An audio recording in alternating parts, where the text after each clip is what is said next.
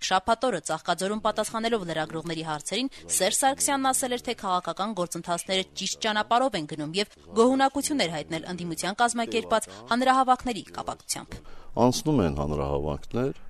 անցնում են կոռեկտության սահմաններում եւ ճիշտ ճանապարհը դա է։ Կարծում եմ, որ եւ իշխանությունները եւ ընդդիմադիրները ճիշտ հետեւություններ պետք է անեն անցյալի սխալներից, որպեսզի անցյալի սխալները չկրկնվեն եւ ասածս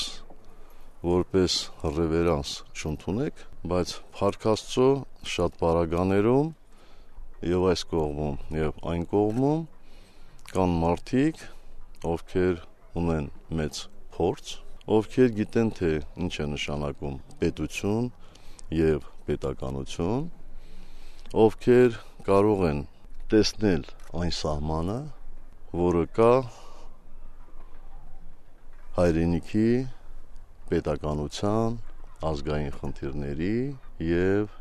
քաղաքական նկարտումների միջև Լևոն Տեր-Պետրոսյանի ղեկավարած Հայ ազգային կոնգրեսի համակարգող Լևոն Զուրաբյանի փոխանցմամբ իրենք հակված կլինեին նախագահ Սերժ Սարգսյանի ընդդիմության հասցեին արված գնահատականները դրական ազդանշան համարել, անգամ ինչ որ քայլեր անելու պատրաստակամության նշաններ տեսնել, եթե երեք չձերբակալվեր կոնգրեսի ակտիվիստ Սամսուն Խաչատրյանը։ Հակված կլինեի տեսնել այդտեղ ինչ որ